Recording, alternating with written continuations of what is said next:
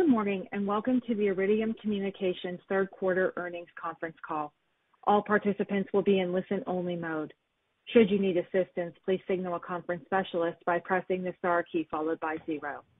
After today's presentation, there will be an opportunity to ask questions. To ask a question, you may press star then one on your touch-tone phone. To withdraw from the question queue, please press star then two. Please note this event is being recorded. I would now like to turn the conference over to Ken Levy, Vice President, Investor Relations. Please go ahead. Thanks, Kate. Good morning, and welcome to Iridium's third quarter 2022 earnings call. Joining me on this morning's call are our CEO, Matt Desch, and our CFO, Tom Fitzpatrick. Today's call will begin with a discussion of our third quarter results, followed by Q&A. I trust you've had an opportunity to review this morning's earnings release, which is available on the investor relations section of Iridium's website. Before I turn things over to Matt, I'd like to caution all participants that our call may contain forward-looking statements within the meaning of the Private Securities Litigation Reform Act of 1995. Forward-looking statements are statements that are not historical fact and include statements about our future expectations, plans, and prospects. Such forward-looking statements are based upon our current beliefs and expectations and are subject to risks which could cause actual results to differ from forward-looking statements. Such risks are more fully discussed in our filings with the Securities and Exchange Commission, our remarks today should be considered in light of such risks. Any forward-looking statements represent our views only as of today, and while we may elect to update forward-looking statements at some point in the future, we specifically disclaim any obligation to do so, even if our views or expectations change. During the call, we'll also be referring to certain non-GAAP financial measures, including operational EBITDA, pro forma free cash flow, free cash flow yield, and free cash flow conversion. These non-GAAP financial measures are not prepared in accordance with generally accepted accounting principles. Please refer to today's earnings release and the investor relations section of our website for further explanation of non-GAAP financial measures and a reconciliation of the most directly comparable GAAP measures. With that, let me turn things over to Matt. Thanks, Ken, and good morning, all. Well, as you saw in this morning's release, we put up another quarter of very robust growth. Commercial revenue was up 10%, and we also showed strong trends in equipment sales and engineering services. You know, We feel really good about the momentum we've continued to see this year and the ongoing demand for our services. It certainly shows a clear appreciation in the market for the unique attributes of our network. In light of these trends, we're taking up our 2022 outlook for service revenue growth to between 8% and 9%, and now expect operational EBITDA of approximately $420 million this year, which would be up 11% from last year. By any measure, this has been a very strong year of growth. You know, the satellite industry overall has been a hot sector in recent years, though investor sentiment has tapered in recent months. A tremendous amount of capital poured into space-oriented companies over the past few years, though often not enough for most of them to complete their networks or technology. Many of these companies are likely finding the current investment environment to be particularly challenging. With a few exceptions, like SpaceX and Amazon, rising interest rates and investor uncertainty are materially changing the flow of capital our sector had enjoyed in recent years. Iridium is fortunate to have our network upgrades behind us and now be in an extended capital holiday phase during this broader market slowdown. With the industry in this new, more challenging environment, we are seeing some new strategic relationships emerge to weather the capital slowdown that many of us expect will endure for at least the next few years. In this environment, Iridium is very well situated and considering how best to take advantage of our unique position, perhaps in partnerships with some of these companies. For example, we continue to evaluate the narrowband IoT area as we think those types of network could be very complementary to our current leadership position in satellite IoT, and only a few of the many announced networks are likely to survive the current investment climate.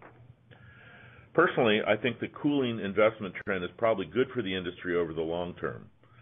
Eventual shakeouts will rationalize competition and present some consolidation opportunities for healthy growing companies like Iridium.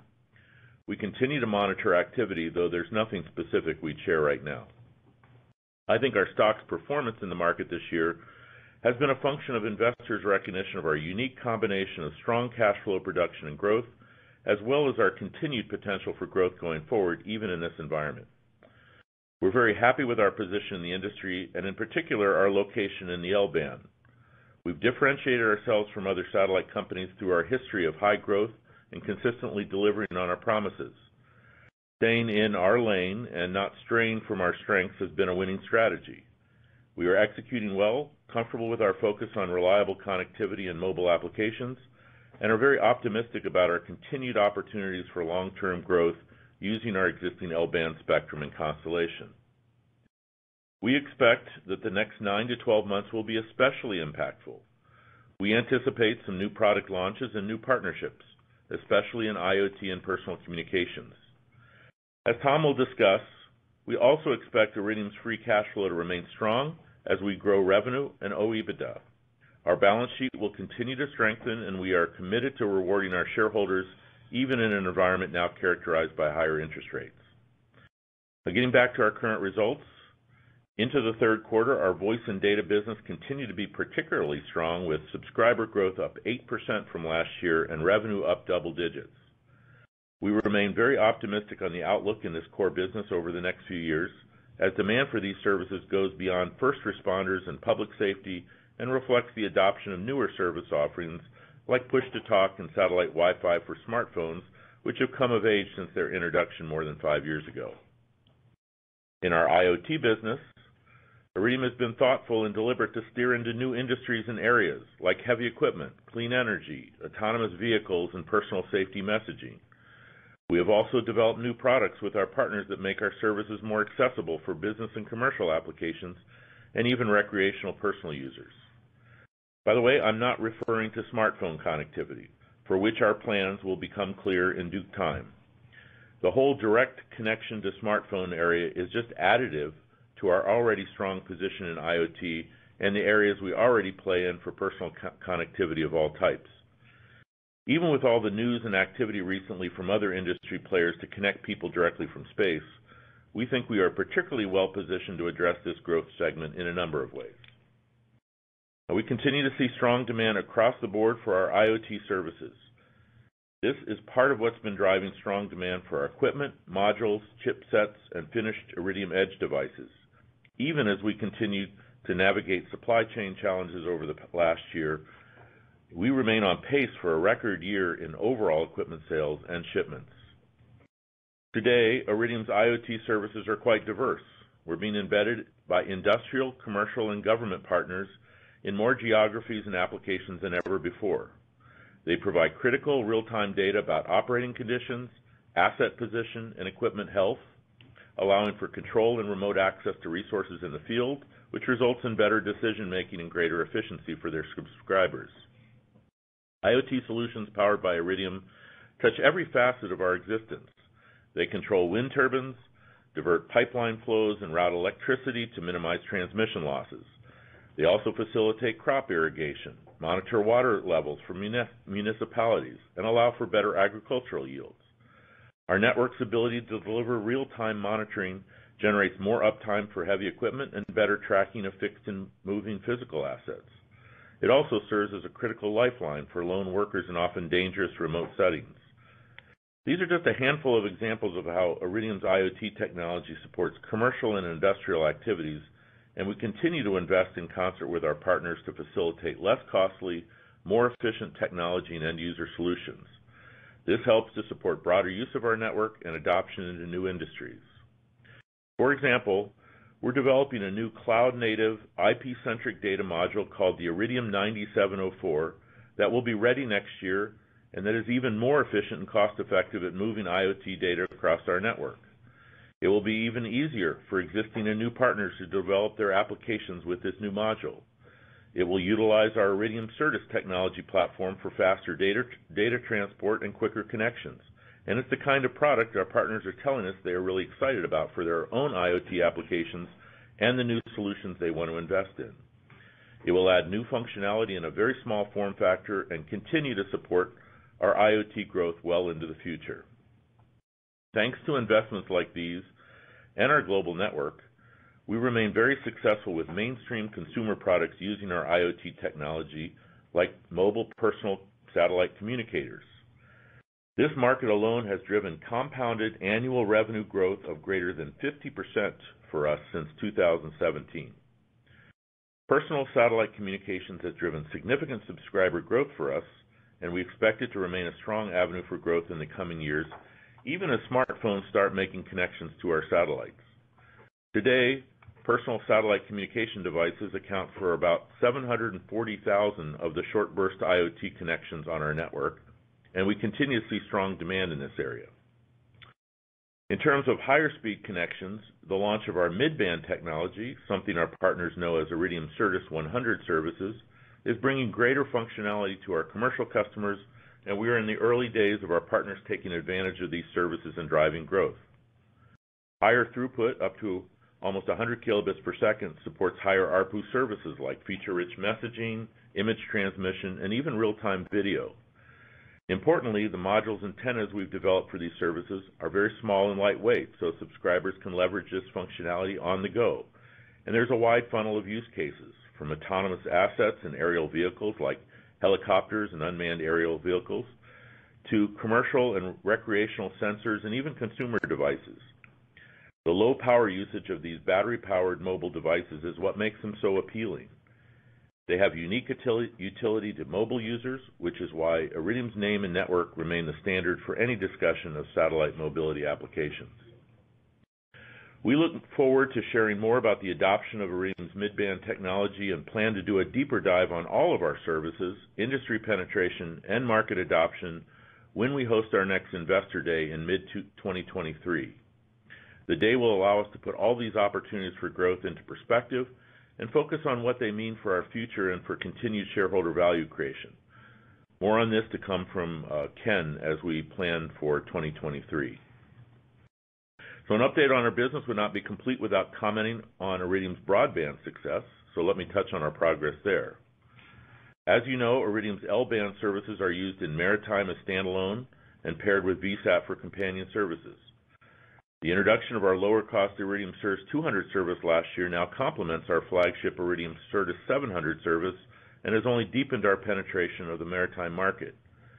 In 2022, we have seen an acceleration in sales for both these broadband classes and expect that new terminals from our VAM partners will drive incremental growth. It's a strong statement that our broadband revenue grew by 19% this quarter from the year-ago period. We're performing well and believe Iridium Connected solutions now continue to take market share and make up the majority of new maritime business for L-band satellite connectivity. We also continue to work with a number of partners who are launching their respective Iridium Certus broadband products in the aviation sector. Some are already seeing success. For example, SKYTRAC's new product that is finalizing certification has already been adopted by the French Armed Services for helicopter service. With the antenna certification activities we have underway now, I expect you'll be hearing from additional partners as their products come to market over the next few months. Before I turn the call over to Tom, just a some more comments on a few other facets of our business. Uh, Aireon's business has had strong revenue growth this year from its customers as air travel recovers. They're at early stages with investment into new data products and services that mine their unique global data set, and we look forward to their continued business development in that area. Uh, you might notice that our engineering and support revenue is accelerating. That's been driven by our continued strong relationship with the U.S. government. We're already doing more R&D and specialized support projects for the government prior to this year's big award of an operations and maintenance contract for the Space Development Agency's new LEO network. That project has gotten off to a very fast start and is going well. We expect our business with them will continue to expand beyond the $133 million base contract as we execute on the plan and find ways to help the SDA in even more areas over the coming years. Beyond the SDA, you may have seen news of our field exercises with the U.S. government and others in the Indo-Pacific region during the third quarter. This series of demonstrations, called Operation Pacific Waves, involved more than 20 of our partners in collaboration with the U.S. and its allies around the region. It was a big success and should lead to deeper relationships and broader adoption of solutions across our commercial and government platforms. So, uh, Iridium continues to occupy a unique lane, even among satellite companies, and Today, that lane is characterized by strong demand and numerous growth opportunities. We're benefiting from current industry trends for mobility and remote connectivity. We have all of our oars in the water and are excited about new product launches and their ability to expand our geographic reach and relevance to a growing number of people. We believe that this year's results will surpass our initial estimates, and we have good visibility into demand for 2023. The vectors for the five-year growth plan we shared with you a few years ago remain intact, and we continue to be on track to generate at least $2 billion of free cash flow by 2025 since the new constellation deployed. We look forward to updating you on future projections and growth vectors at the Investor Day we're planning for next year. So With that, I'll turn it over to Tom for a review of our financials. Tom? Thanks, Matt, and good morning, everyone. I'll get started by summarizing our key financial metrics for the quarter and providing some color on the trends we're seeing in our business lines. I'll then review our full-year guidance, liquidity position, and capital structure. Iridium continued to execute well in the current uncertain macroeconomic environment. We generated total revenue of $184.1 million in the third quarter, which was up 14% from last year's comparable quarter. The improvement reflected ongoing strength in our commercial business lines, growing engineering work supported by the SDA contract, and continued strong demand for subscriber equipment. Operational EBITDA was $107.8 million in the third quarter, up 8% from the prior year's quarter. Strong fundamentals and ongoing momentum in our business give us confidence in increasing our full-year outlook for service revenue growth to between 8% and 9% and delivering EBITDA of approximately $420 million this year. On the commercial side of our business, service revenue was up 10% this quarter to $112.5 million. This increase was supported by growth across all business lines. Commercial voice and data revenue grew by 10% in the third quarter to $50.3 million. As we noted last quarter, our Push-to-Talk and Iridium GO offerings are experiencing robust growth. Additionally, we are seeing increased demand due to the lack of available handsets from our competitors. These factors lead us to believe that our voice and data business will grow at a mid-single-digit rate on average for at least the next several years, up from the low single-digit rate, which had previously been the norm. In commercial IoT, revenue grew 12% from the prior year quarter to $33.8 million in the third quarter. We continued to benefit from strong demand for our personal communication services. Year-over-year, commercial IoT subs grew 22%, with a record 89,000 net activations during the third quarter alone. IoT ARPU was $8.24 in the quarter, compared to $8.93 in the prior year period.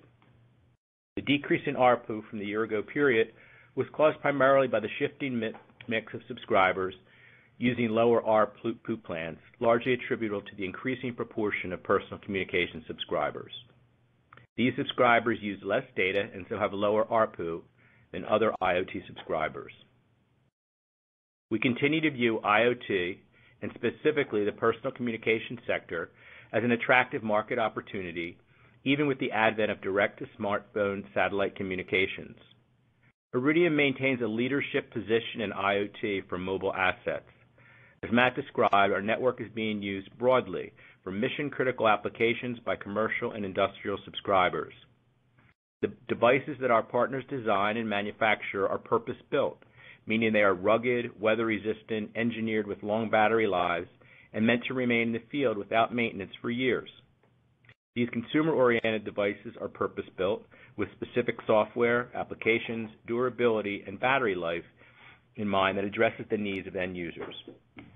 Today, about 50% of our commercial IoT users are personal communication subscribers. This population of users remain a very attractive contributor to our service revenue growth in light of the minimal comparative network resources they consume. In total, IoT subscribers now represent 77% of Iridium's billable commercial subscribers, up from 75% in the year-ago period. Commercial broadband revenue rose 19% from the prior year quarter to $13.6 million in the third quarter. Activations continue to be driven by the adoption of Iridium Certus terminals in maritime.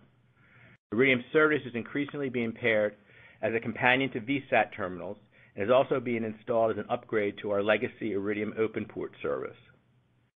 Hosting and other data services revenue was $14.8 million this quarter, consistent with the prior year quarter. Turning to our government service business, we reported revenue of $26.5 million in the third quarter, up 2% from $25.9 million in the prior year quarter. This increase reflects the contractual terms of our long-term EMSS contract. Subscriber equipment continued to benefit from strong demand, rising 4% from the prior year period to $28 million. Based upon the backlog and order volume we have received, we believe that equipment sales this year will come in well above 2021's level.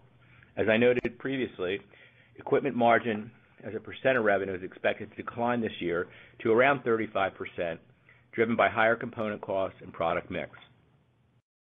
Engineering and support revenue was $17.1 in the third quarter as compared to $7.5 in the year ago period. We have reached a new level of ongoing engineering work with recent contract wins from the U.S. government, much of this coming from the award of the Space Development Agency contract earlier this year.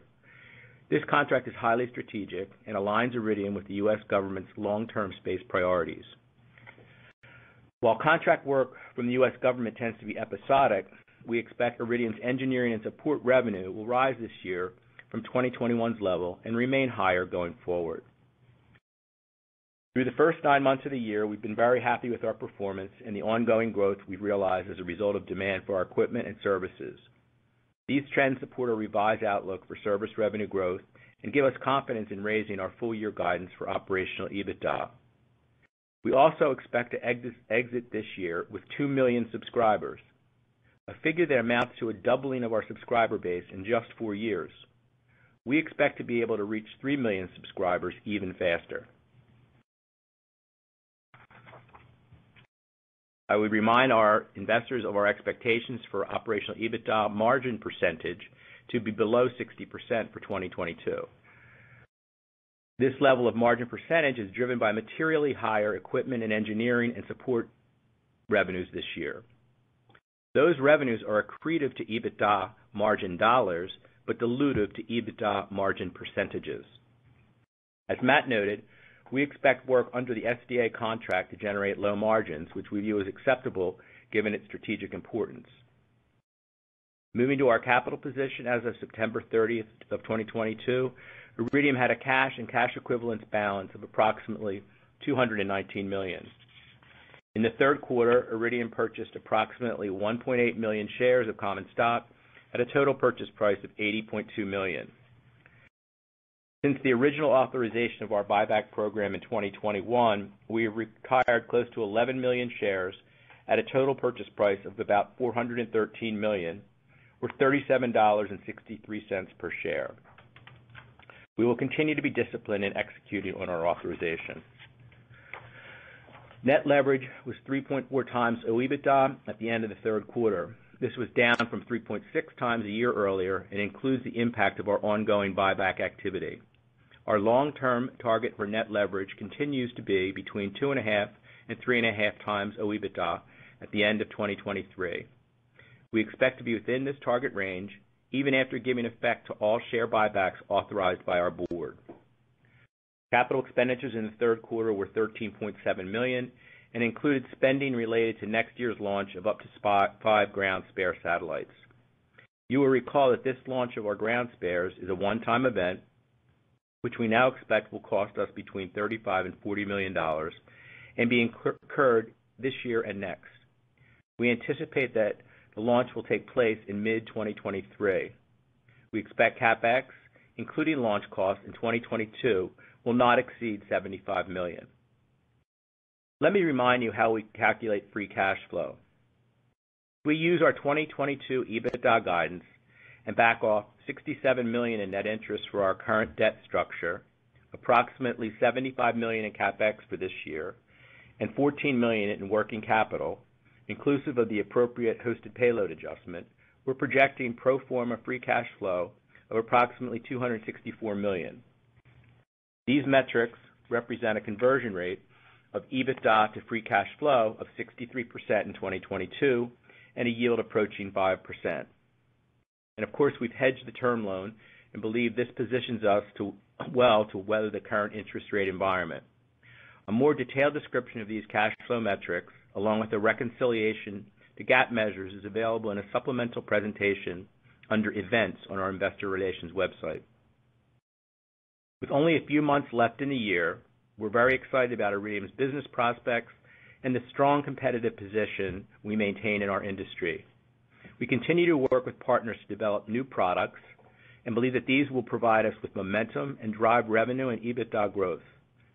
This positions us very well as we look into 2023 and beyond. With that, I'll turn things back to the operator for the Q&A. We will now begin the question-and-answer session. To ask a question, you may press star then one on your touch-tone phone. If you are using a speakerphone, please pick up your handset before pressing the keys. To withdraw your question, please press star then two. The first question is from Rick Prentiss of Raymond James. Please go ahead. Thanks. Good morning, everyone. Morning, Rick. Hey, Ric. Hey. Um, Matt, I know you mentioned um, smartphone satellites uh, will become clearer in due time, but I'd be remiss if I didn't ask a couple of questions around it. Um, I think previously, a few months ago, you mentioned that you're working on the service agreement with the unnamed technology development uh, partner. Can you update us as far as timeline, as far as when you expect to have that service agreement um, in place?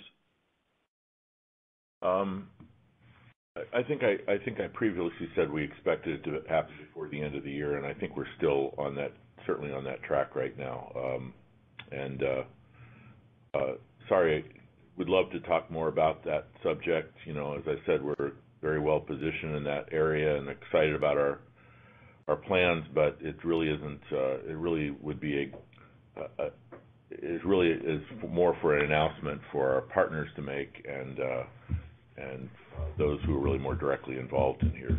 Um, it will come in due time. Makes sense. Just want to make sure the service agreement was still on track for end of year. Um, how should we think about the potential impact that might have then on your capacity of your existing satellite constellation or the timeline as far as how long this capital holiday might last?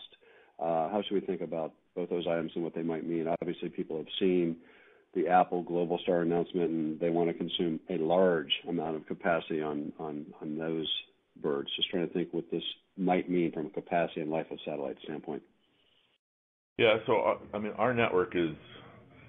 Uh, I mean, was built um, and, and designed and architected really to be extremely efficient at sending um, information around all over the all over the planet. And we're uh, we've done our estimations of and expectations of at least you know what we can see so far, and we think we have uh, you know plenty of capacity to support the services that we're expecting using our existing network uh, and existing spectrum. So our plans are it doesn't really change our expectations on the capital holiday timeframe. We don't need to invest in another network. Um, you know, and uh, um, kind of excited about the potential upside it brings to our plans right now, uh, which really aren't in our plans today. Okay. The capital holiday, still thinking that it can last through most of, uh, maybe this decade? Yeah. I mean, we've always said at least a 10-year CapEx holiday, and we're still on that track. Okay. Um, I think previous calls you've also mentioned spectrum you might be interested. Uh, is there other spectrum out there, something beside the L-band, or is it just finding more L-band? Maybe just an update uh, on what's happening with the Ligado situation. Yeah. Uh, you know, um, I think it's only been in the last year or two, probably through all these um, discussions around um, direct-to-smartphone capability that everybody suddenly woke up and realized that the L-band and our neighbor next to it, the S-band, are probably the most ideal spectrum for that kind of connectivity for small, portable, consumer-type products of any sort. I think we're seeing that right now in the narrowband IoT sector, where people were thinking about other spectrum, like even UHF and VHF, but they realized none of those are as uh, good as L-band and S-band for that. And there are a couple of us with L-band and S-band. Um, we're one of the few complete networks right now um, that has gone up and is able to uh, provide services uh, to those types of devices and is ready and ready to go with with uh, very little kind of effort to do that. Um, others would have to build whole whole new networks potentially to support it. Um, you've seen their announcement with Apple and Globalstar, there's a fair amount of investment that even has to happen there since uh, Globalstar's uh, network was getting a little long in the tooth. Um, so they have to invest in that as well to maintain and support and grow that. We don't have that same situation, so we're in a great environment, really, to make this an incremental activity on top of what we're doing. Um, and as far as far as Ligado goes, I mean, I think uh, as we reported uh, previously, you know, I think the last real uh, kind of news there was the National Academy of Sciences report, which was, as we expected, you know, described that Ligado would be an interferer to us and to GPS, and and that certainly um, has sort of changed the focus. I think uh, Ligado announced that they were sort of terminating their activity for their demonstration system that they were planning uh, and are in negotiations, which I, I take as a positive sign that uh, things won't be moving forward anytime soon on that front. So um, that, that's certainly consistent with what we believe should happen there anyway, and believe that the FCC should never have really allowed that satellite spectrum to be to be reused so closely to important um, global satellite services. Great. Thanks for the update. Looking forward to see you guys in December, and then for the Analyst Day sometime in mid twenty three. Okay. Thanks, Rick. Thanks, Rick. The next question is from Landon Park of Morgan Stanley. Please go ahead. Good morning, everyone. Thanks for taking the questions. Um, I was wondering if we could start on the service uh, Aviation side you know, just given that those products are finally um, coming to market now, can you maybe just remind us of your expectations there over the next couple of years in terms of what the TAM looks like and what kind of ARPUs you're expecting on those devices? Yeah. So, um, the expectations would be, um, you know, our sweet spot is going to be the aviation safety part of the market, uh, as well as I'd say the smaller platforms using, say, Certus 100 and 200 technology, and to some extent, um, you know, the safety side of the commercial aviation world, the cockpit um, communications and data uh, transfer to commercial airlines, particularly on long-haul flights. Um, there's a lot of excitement. We got a lot of partners working that front. In some ways, our network is suitable is more suitable for a lot of applications that other networks aren't, you know, particularly things like uh, rotorcraft of all types. I was just visiting, um, if you follow me on Twitter, uh, you know, medevac helicopter company, and it's real clear, you know, globally, uh, we're just one of the few things that really work well on something like a helicopter or these days, a UAV. Um, uh, which uh, is a very early-stage market. A um, lot of areas are um, focused on smaller platforms. So Certus 100 and Certus 200 are going to be very um, well used on those. The ARPUs are quite attractive. They're certainly above where they are today in voice and data services. Hard to say exactly what they're going to be because they're going to be a broad range from uh, you know, UAVs, which could be quite high in some applications. Um, some of the monitored rotorcraft, et cetera, could be quite high. Commercial safety, those airplanes are always in activity. In general aviation and some other areas, it might be a little bit lower because those uh, um, aircraft aren't flown quite as much. I'm just real pleased to see that these products are finally within uh, weeks and months as opposed to uh, longer than that in being introduced. Great. Thanks very much for that. Um, uh, turning to the government side, you know, I'm just wondering if you can update us on your relationship there. You know, the recent demonstrations in the Pacific and um, you formally announced the new partners there. Can you talk about, you know, how you're thinking about that TAM and your ability to execute? You know, are you still thinking about it as a $100 million sort of opportunity over the longer term, or how should we be thinking about it? Well, the narrowband services, of course, are, um, you know, covered by our firm fixed price contract, and that's been um, pretty steady and still has uh, time to go and will be eventually renegotiated.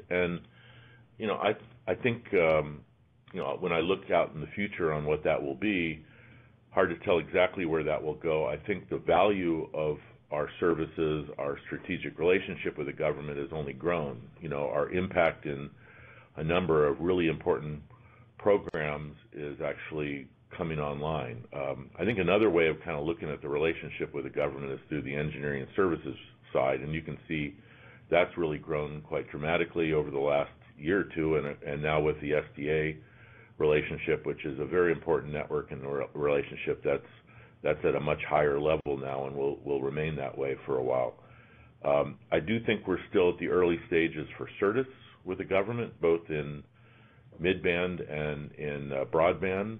You see we've signed up a number of new um, distributors now. I don't think our uh, go-to-market strategy was optimal a couple years ago, but I think we're in a much better place now with more more companies going after more opportunities. Um, and I think that will start to pay off here before long. And then, of course, uh, you know, government continues to find new ways of using our network, and we'll keep keep looking at those uh, those ways going forward. And, and I mean, for, on the service side, you guys have previously talked about, uh, you know, sort of a $100 million market there. Is that still the right way to think about it in terms of what you can go after over time, or? Yeah. So the install yeah, the installed base um, of the government for what we call broadband is that $100 million number. That's just taking market share away from the incumbent. Landon, the way I think about it is if you look at our broadband business, uh, we put up a 19% growth in the quarter. There's not much government. We haven't taken much of that 100 away. So That takeaway uh, should be helpful in the broadband growth as we look forward. It is some takeaway, but it's also, if you looked at Operation Pacific Waves, the kinds of applications that were being demonstrated across the board, things like UAVs uh, and safety services and video, you know, real-time video in really remote places, including at the poles, at the South Pole and across wide uh, ranges. Those were some lots of new applications that can't be done any other way than really uh, Certus. I think mid-band will be a unique place for growth there with the government. Great. That's very helpful. And just one follow-up on the government side. Can you help us think about how to model the engineering revenue, you know, the cadence over the next, you know, quarter or the next couple year or two? Just, you know, how should we think about that, that 133 flowing through, um, So it's heavy, it's heavy in the next two years, this year and next, and then it tapers. 'Cause so there's uh, think of the two years as uh, almost like construction, and then the last three years of the contract is kind of the service uh, agreement. All right. Well, really appreciate you taking the questions, guys. Sure, Brendan. The next question is from Greg Burns of Sidoti & Company. Please go ahead. Morning. Um, just a follow up on the aviation opportunity, could you just um, remind me, is that mainly being deployed onto new crafts, or is there a retrofit opportunity there? And Could you just uh, remind me about the size of the opportunity there, maybe relative to the market, the size of the market for maritime? Yeah. It's smaller than the maritime market in the near to medium term. I mean, um, we're only getting really started. We've already been in aviation for a while, and it's, you know, recognized in both voice and data and IoT revenues right now.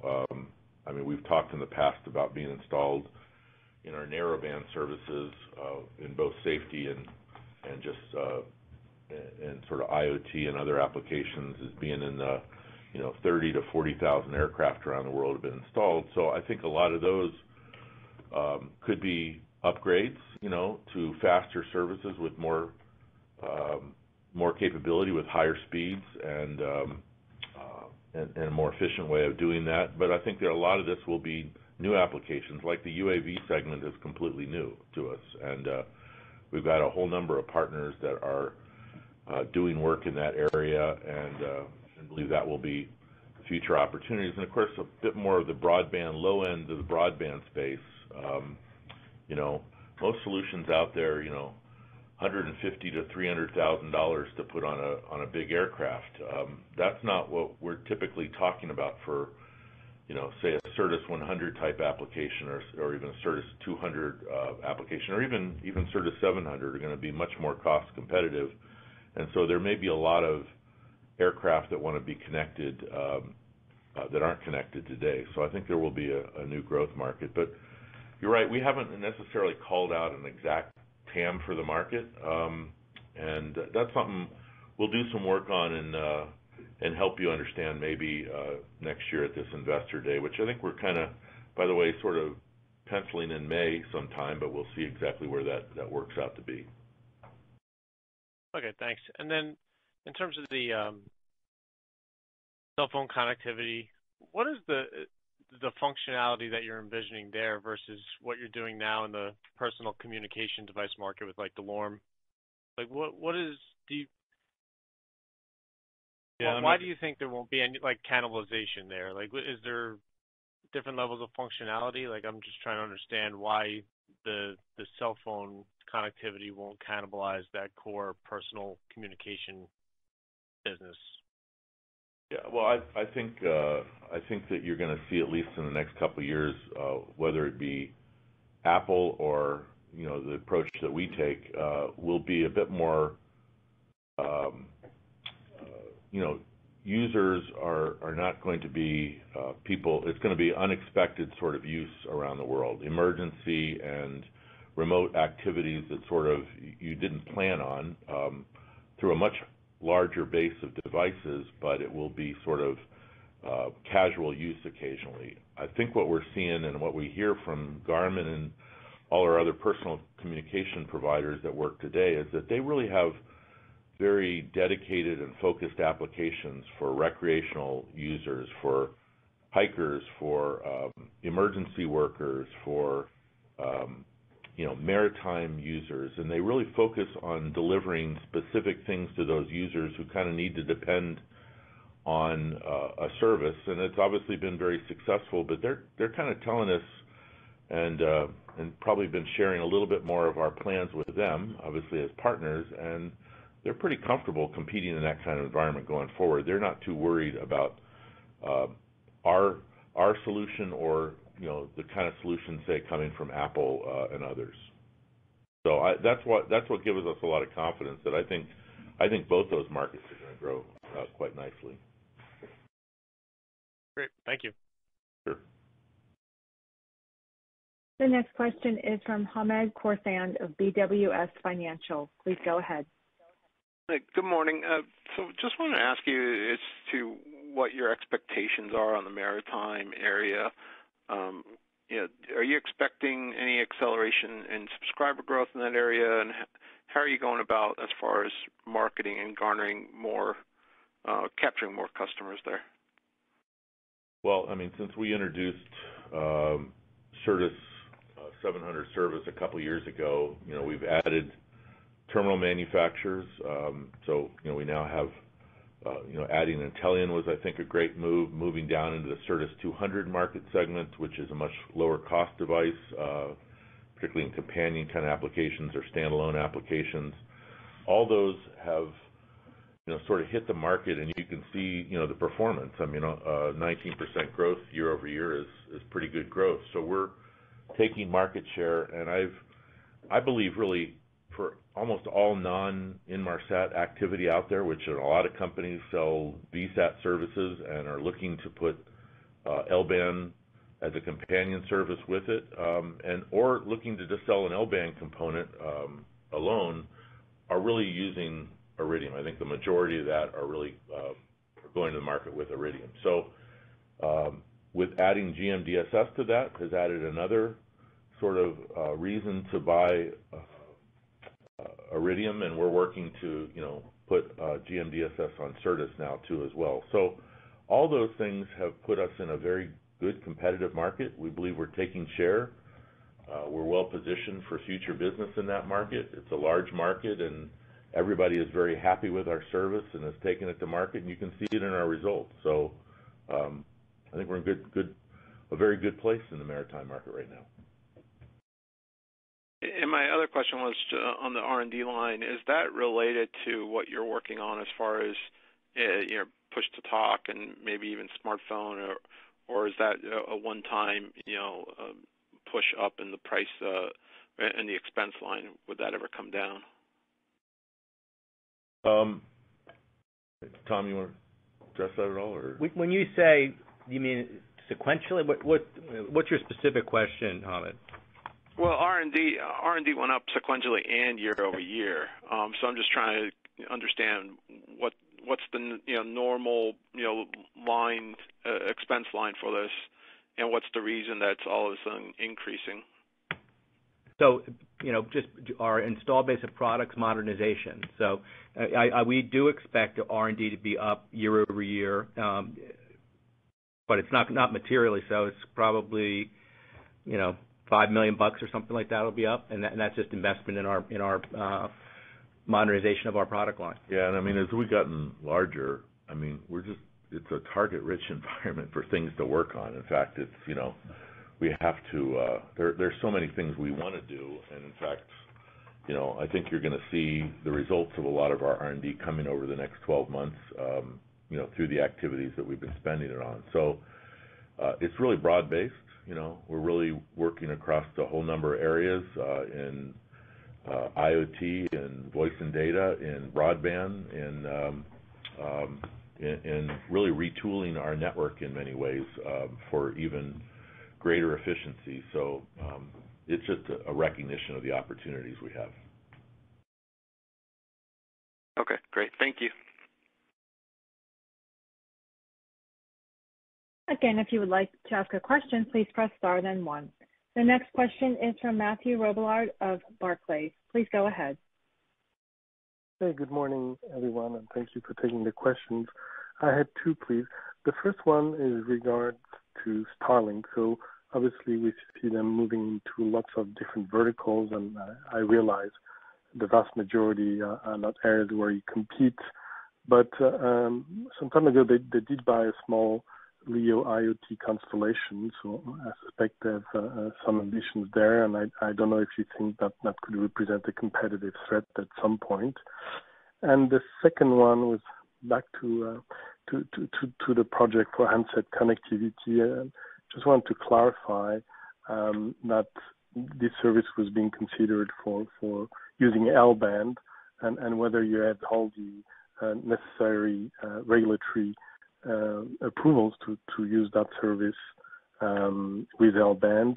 How should we think about when and how L-band could be included in some of the chipset? Is that is that something you you are also working on? Is that more uh, something that would fall on your partners? Thank you. Uh, yes. So You know, the first question was about Starlink, and are they a competitor? And We still don't see you know, really them in the, in the market or believe that they're gonna be a major competitor. I think you were referring to their acquisition of Swarm, which was one of the 30 or so narrowband IoT networks that uh, were announced. And I said in my prepared remarks, I really think that there's not gonna be very many of those in the end that are probably gonna survive, but there will be some, and we're very interested in that area and potentially could get into that market. So To the extent we're both going after what I would call non-real-time, low-end, extremely low-power IoT, either using sort of standardized 5G sort of technology coming or or proprietary technology like swarm, um, uh, we would sort of see them in the market, I guess. But I mean, we're such big players right now in IoT with so many solutions and partnerships around the world. We have such a natural advantage there to kind of add that into our portfolio. We think will will do very well. But the IoT market is huge, I think, long term, and so, you know, we may see them in the market, but I just don't think I would call them a major competitor to us. This will be around the fringe of our us right now. Um, you know, and also their activities right now, I think that goes into your second question. Their announced activities so far with T-Mobile were really around not using L-band spectrum. It was using terrestrial uh, spectrum that is used, uh, that T-Mobile's uh, I think AWS spectrum in the U.S. and probably other spectrum around the world if it happens. Doing that, as you kind of imply, requires a lot of both technical development to go on, uh, but more importantly, a lot of regulatory work too. A lot of approvals still have to go on around the world for using terrestrial spectrum because you are basically using spectrum where it hasn't been approved and where it may interfere with other services. So there's a lot of coordination and regulatory approvals, market by market, country by country, uh, with a lot of business agreements to kind of make that sort of activity happen. The better way, the more immediate way to connect smartphones from space is to use L or S-band today, or L, you know, uh, maybe more S-band is the Apple uh, Globalstar way. Our approach would be to use L-band. and uh, That exists. As you said, there is no regulatory requirements. We already have global license to operate from satellites to any small device on the ground, including a smartphone. There's no approvals required nor more landing rights that we don't have today. So Really, it's just a matter of adding that capability I won't I will say anything more about how we add it because I think that's what we've uh, left to the announcement in future, or who we're adding it with, or how that will go to market. Uh, but I think most people can probably get a rough idea how that works, so. Does that help, Matthew? Yes, that's very clear. I guess uh, the question on, you know, L-band not at the moment, not being at the moment something that is embedded in your traditional smartphone, um, but and how that could be sort of, I guess, what uh, you're implying is that it's maybe something for your partner to deal with rather than you directly.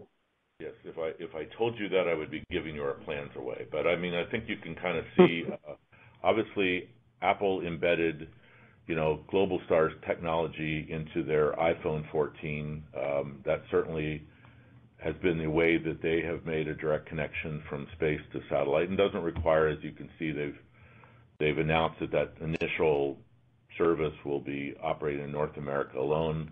Um, you know, it's not for regulatory purposes or anything. It's really probably more for technical reasons and what, where the service can be deployed um, or where they want to deploy the service you know, we would be focused on delivering global services, whatever we do, and uh, obviously, our L-band has to go into a device.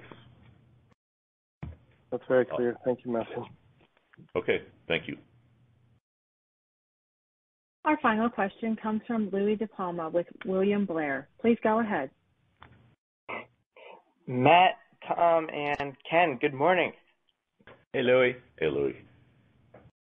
Matt, um, following up on your recent answer to the cannibalization question, do you expect for smartphone satellite connectivity to entail some casual use beyond emergency use? For instance, could a smartphone send 10 satellite texts a year? As you obviously wouldn't expect someone to have 10 emergencies in a year unless that person were very, very accident prone. Whereas Garmin and Zoleo devices on your network perhaps send 100 messages a year or 500 messages, including GPS pings for hardcore um, campers and, and hikers. So, how do you, uh, in terms of usage, what are your expectations?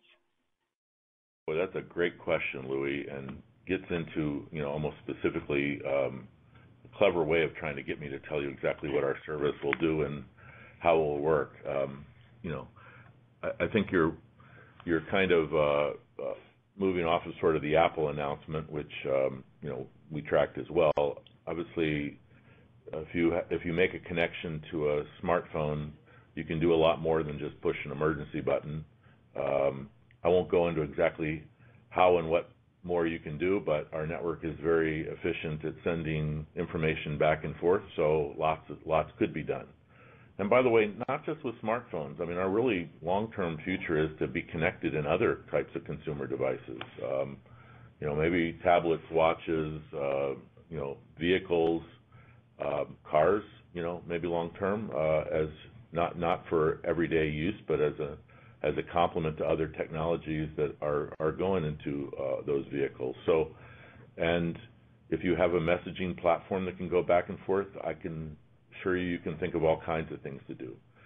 But I mean, coming back to the, you know, I really believe strongly that there's not going to be considerable uh, cannibalization. I mean, we really do see based upon um, really more discussions with our partners around that base is it's just, it's gonna be, I think, multiple product classes that are gonna exist. Maybe around the edges it would be, but I think it's gonna be very much additive to our business and anybody's business that does this.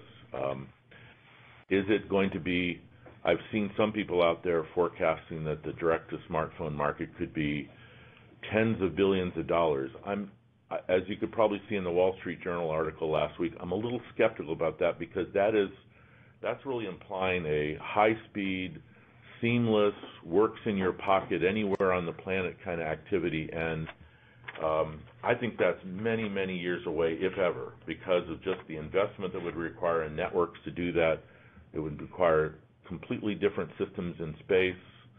Um, it would require a lot of regulatory work on the ground. It will require a lot of work in terms of standardization, and that's not what really I think is going to be the way uh, these services roll out in the next couple of years and what you're going to see. So I really think you're going to see very complementary services in the, and I'd say near term, meaning the next three, five, seven years or so, particularly. Um, what's beyond that? Who knows? You know, There's a lot of innovation and investment that could occur, but I think they're quite a far ways out. Great. and um, I think you added 89,000 quarterly net adds for IoT, which appears to be the highest level or highest number that you've ever added. And, and Garmin recently announced the new InReach messenger device.